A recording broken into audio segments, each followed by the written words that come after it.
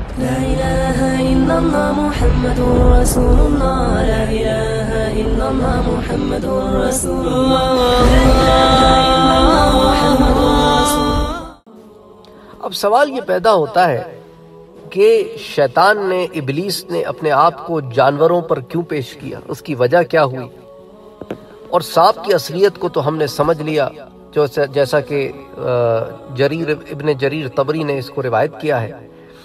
تو اب جنت میں داخل وہ کیوں ہونا چاہتا تھا اور وہ جانوروں کے پاس کیوں گیا؟ حضرت عبداللہ ابن مسعود رضی اللہ تعالی عنہ اور چند اور صحابہ کرام رضی اللہ تعالی عنہم اجمعین فرماتے ہیں کہ جب اللہ تعالی نے حضرت آدم سے فرمایا کہ اسکن انت و زوجک الجنہ، کہ اے آدم، آپ اور آپ کی بیوی جنت میں رہیں، یہ سورہ بقرہ کی آیت ہے، تو ابلیس نے ان کے پاس جنت میں جانا چاہا۔ تو جنت کے داروغہ نے اسے روک دیا۔ تو پھر ابلیس جانوروں کے پاس گیا اور ان جانوروں میں پھر سانپ کے پاس بھی آیا اور اس وقت وہ اونٹ کی طرح سانپ کی بھی چار ٹانگیں ہوا کرتی تھی اور وہ سانپ سب جانوروں سے زیادہ خوبصورت تھا۔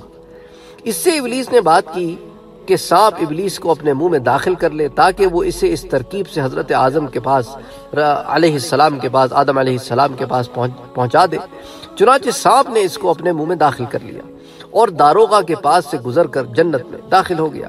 اور داروغہ نہ جان سکا کہ اس کام سے اللہ تعالیٰ نے کیا ارادہ فرمایا ہے۔